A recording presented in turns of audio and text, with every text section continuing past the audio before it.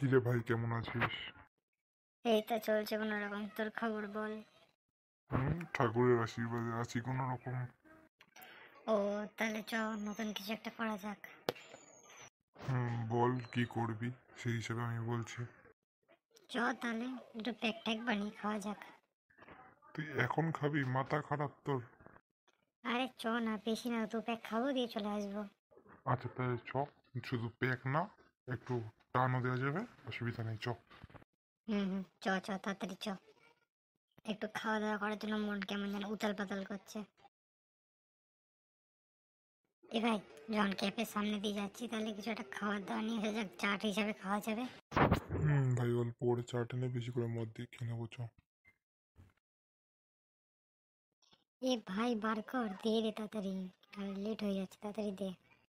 হুম রে বাড়া এখন দিচ্ছি তারা ধর তুই ধরা আমি খাচ্ছি। হুম হুম দে ধরাচ্ছি আমি তুই তোর খাবি নাকি? উফ অনেকদিন পর খেয়ে ভালোই মজা হলো।